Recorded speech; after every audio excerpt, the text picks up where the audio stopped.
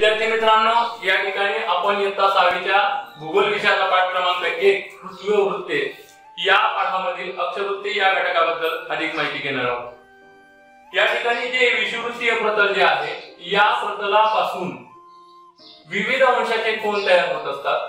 हे जे विषुवृत्तीय प्रतल आहे या ठिकाणी शून्य अंश या शून्य अंशापासून विविध प्रकारचे कोण मोजले जातात. आणि एक कोण मोजल्यानंतर त्यापासून विविध प्रकारचे प्रतल या ठिकाणी तयार होत असतात.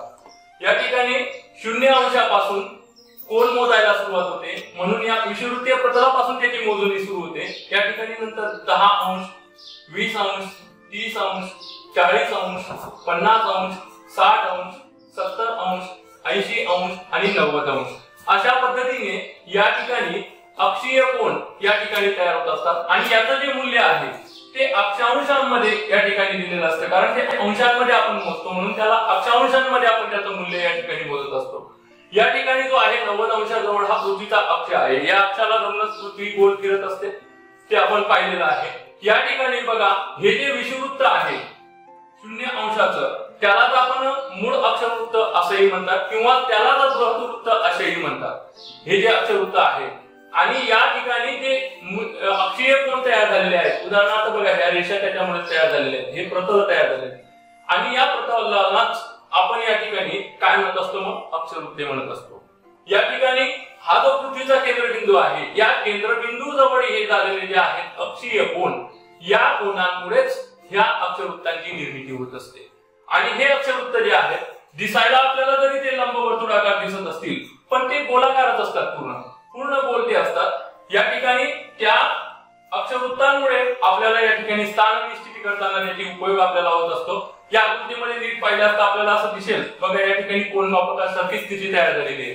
कोण मापक ज्या पद्धतीने आपण कोण मोजण्यासाठी वापरतो तसं या ठिकाणी केंद्रबिंदू जवळ हे झालेले कोण आहेत पृथ्वीचा जो केंद्रबिंदू आहे हे बघा पृथ्वीचा केंद्रबिंदू.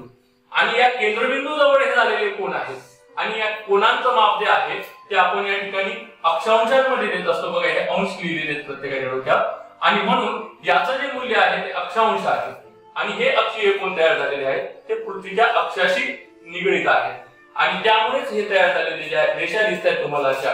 त्याचं उत्तम उदाहरण मी तुम्हाला सांगतो टमाटे कापताना आपल्याला ते दिसेल. एखादी गोल टमाटा जर आपण हे पृथ्वीचं उदाहरण जर समजलं आणि त्याला जर आपण असं चापून हे गोल काप मारले सरळ असे गोल कापत राहिलो तर त्या ठिकाणी बघा अशा चकत्या तयार होताना तुम्हाला दिसतील. आणि ही चपटी जी आहे हे सारख्याच अंतरावर आहे. हे जे माप आहे ना या ठिकाणचं ते दहा अंश वीस अंश तीस अंश हे माप सारखंच आहे यांचं. भलाही चपटी लहान मोठी असू शकते कारण केंद्रबिंदू जवळ ही छोटी छोटी होताना जाईल. आणि केंद्रबिंदू जवळ तर अगदी बिंदूच असतील ते. या ठिकाणी उत्तर ध्रुव जो आहे या ठिकाणी ते अगदी बिंदू स्वरूपात असतात. इथे बिंदू स्वरूपात असेल.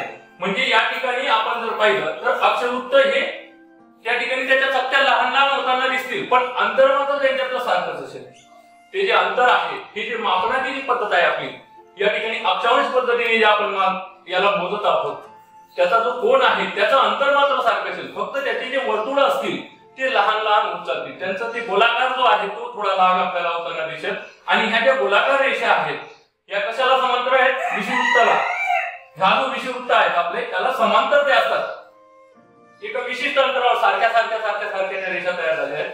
त्याचा उपयोग आपल्याला स्थान निश्चितीसाठी होत असतो ते आपण या पुढेही पाहणार आहोत किंवा याचा उपयोग आपल्याला पुढील वर्गामध्येही होणार आहे. आपण याच्या अगोदरही त्याचा उपयोग या अगोदरचा जो पाठ आपण घेतला त्याच्यामध्ये पाहिलेला आहे. तर याला अक्षरवृत्ते असे म्हणतात.